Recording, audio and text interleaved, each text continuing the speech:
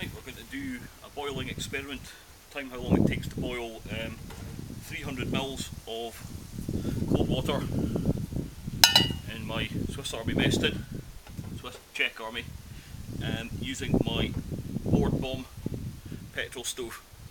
So it's self-pressurised petrol stove. It has one moving part, which is a needle valve at the bottom of the stove. Um, yeah, and we'll, we'll see how long it goes. So to light the stove, you have to turn it upside down and open the needle valve so some petrol spills out because it needs priming and then we light it. Um, you can see there's a slight breeze, um, air temperature is about 16 degrees, humidity is probably about 80 or 90 percent. Um, yeah, so we have to preheat this coil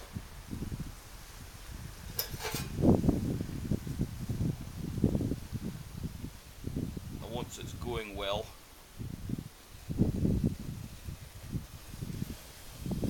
Which it is. Um, you'll hear the stove start to pressurise.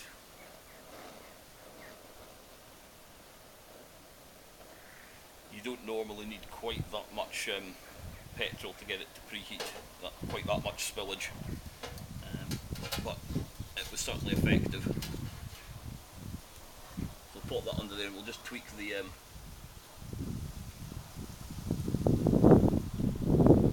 the valve position.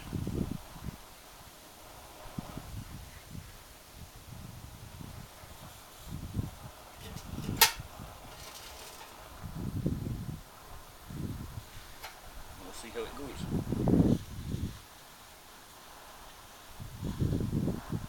See, an actual use for a titanium spork.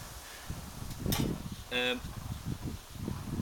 so this is running on standard, um, standard unleaded petrol from a filling station.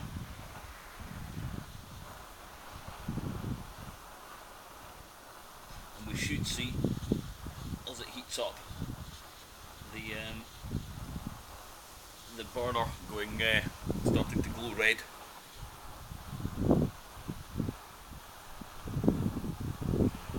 The major advantage I find with this is if I'm going uh, motorcycle camping is that that's a very small stove which puts out a respectable heat output and well because I'm usually on the motorcycle it's uh, I have fuel with me all the time obviously if I was canoeing um, I would need to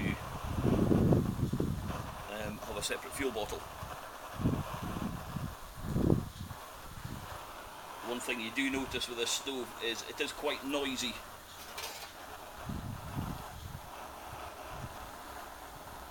I'll turn it up a little bit there now. That's properly going now.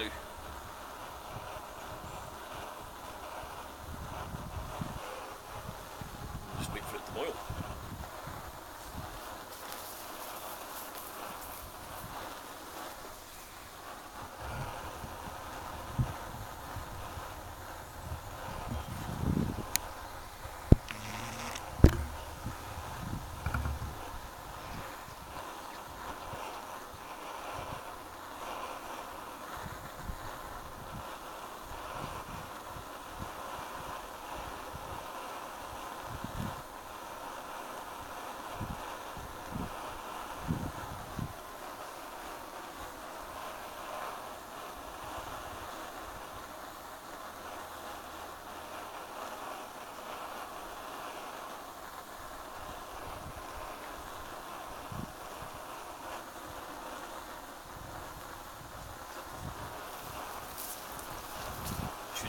Maybe the pot stand is um, is a design I stole off a different type of stove. Just a series of holes drilled in some aluminium plate, then cut in the middle. Um, it's going to need remaking at some point because the stove has melted portions of it. The aluminium can't really take this amount of heat, so I'm going to have to redo it with either stainless or titanium. Probably stainless because it's cheap and available.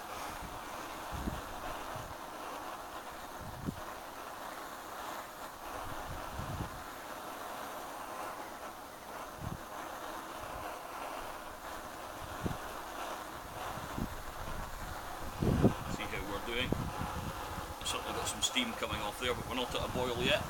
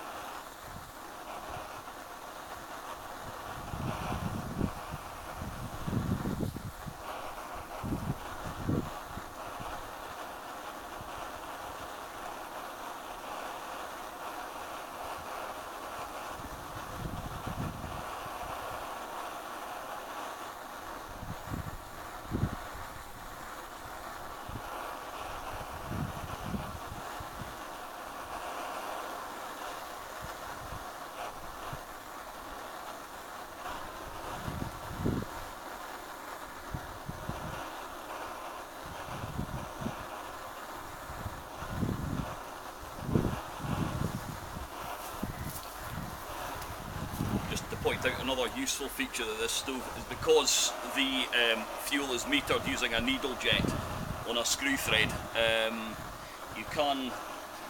This is going as close to flat out as it as it as it will now. I think I can maybe tweak a little bit extra fuel flow from it. Um, but yes, you can uh, you can turn it down almost infinitely, so so it, you can simmer on this stove as well. And starting to see some small bubbles now. It's not quite a rolling rolling boil, but uh, we're very close.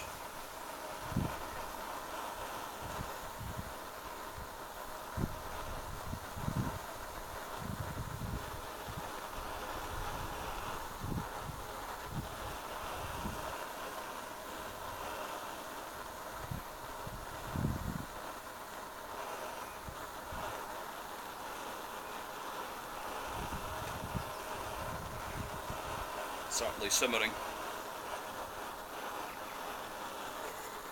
And that's a rolling boil.